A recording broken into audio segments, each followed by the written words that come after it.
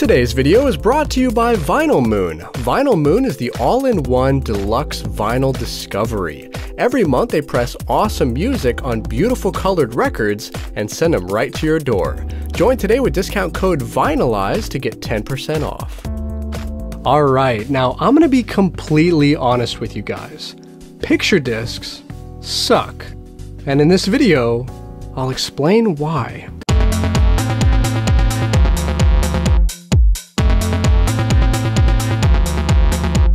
Hey friends, welcome back to Vinyl Eyezz. I am Jarrett New, and a lot of you guys recently have been asking me, Jarrett, you've been doing a lot of live streams lately, but when are you going to get back to the normal videos? Well, I just want to say not to worry because there's a lot more normal videos headed your way, so stay tuned for those. But today, I'm giving you guys my honest opinion about picture discs. But real quick before we dive into that, today's song of the day is We've Only Just Begun by the Carpenters. And if you have a suggestion for a song of the day, post it in the comments down below and you might see it in a future video. Also, if this is your first time here and you want to learn more about record players, music, and basically everything vinyl related, be sure to hit that subscribe button and bell notification so you won't miss out on the new videos. Alright, now why do picture discs suck? Well, to be fair, they don't completely suck. It's just that because of their unique design, the sound quality of a picture disc record is not going to be nearly as good as a normal vinyl record. And that's because this unique design of theirs is kind of like a record sandwich. The first layer is a very thin piece of polyethylene plastic, the second layer is a paper picture, the third layer is a vinyl puck, the fourth layer is another picture, and then finally, the fifth layer is, yet again, another thin piece of plastic. So those thin plastic layers on the outside is where the music grooves are going to go. That's where the music information is pressed. And this is the main reason why they sound bad. Because as I mentioned in both the FlexiDisc and Pocket Disc videos, the thinner the plastic, the worse the sound quality. And that also applies here to picture discs. Now, you may be wondering, well, why don't they just make that top layer thicker? Well, I'm guessing that the main reason they don't do that is because it might obscure the picture underneath. And that's really the main selling point of a picture disc.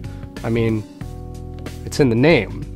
And to be honest, some of those pictures on these discs do look really nice, like the 7 inch single of Toto's Africa, or the Back to the Future disc, that one looks nice.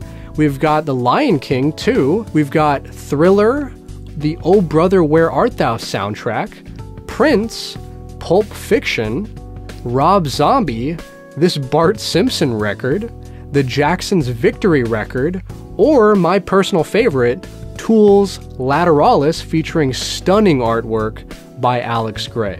Isn't that beautiful? That is just so cool how they did that. So there's no denying that there are definitely a lot of nice looking picture discs on the market, but what I'm saying is that just because they look amazing doesn't mean they're going to sound that way or they're going to play that way.